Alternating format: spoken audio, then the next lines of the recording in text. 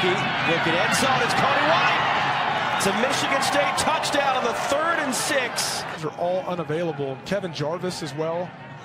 Matt Allen actually is available in an emergency situation, but tough to operate that way. Lewerke's going to go down. First sack of the day for Rutgers. Really the first time they've gotten much pressure all on Lewerke. It's Julius Turner setting up a third and long. Probably been their defensive MVP this year.